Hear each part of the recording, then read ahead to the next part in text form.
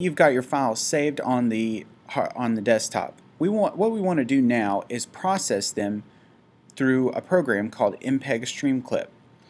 What this program allows you to do is it streamlines your files so that they work better with Final Cut Express, which is our editing software. When you take things through MPEG, it processes them easier. Final Cut can recognize it. It, it saves you a lot of time in the long run. MPEG Streamclip can be found on the dock on depending on any computer that you're using in the journalism lab. And it is this program right here uh, that looks like a clapboard with a film strip with a blue film strip underneath. So I'm going to click to open this program here. And when it opens, it gives you a blank window with uh, five blue dots in the center. So what I'm going to do is I'm going to find my video files that I've already imported from my folder and I'm going to take one at a time. I'm going to drag the first one in. And we see that the file there appears.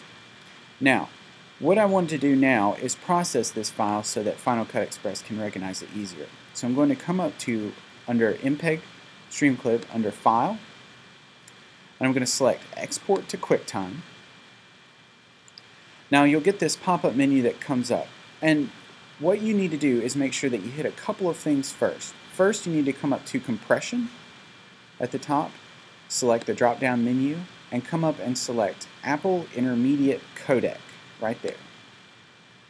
This may already be selected. If it is, leave it alone. If not, make sure that it is selected. Then we want to alter the frame size of this to make it more compliant with Final Cut Express. We're going to choose 1280 by 720 HDTV 720p right here and select that. Sound, you want to leave uncompressed and you want to leave it as stereo.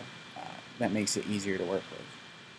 Once I've made those changes, I'm going to come down and make move and click make move. Here it's going to give me an opportunity to rename the file. I want to rename this as something that I can recognize easily to make it go faster in the editing process. So I'm going to rename this to computer shop. It can be whatever name, you can have a numbering system, whatever works for you, just so that you can recognize your clips easier. What you definitely want to do is save it to your folder on the desktop. So, and then I'm going to click Save. And then we'll get this window and it's going to process the movie. Now, of course, depending on how long the, the individual clip is, depends on how long it's going to take. This one's a short clip, so of course it's going to go a lot quicker. Okay, you see that it is completed here. Once it is complete, you can see that it has shown up in my folder here. And now we are ready to import these files into Final Cut Express.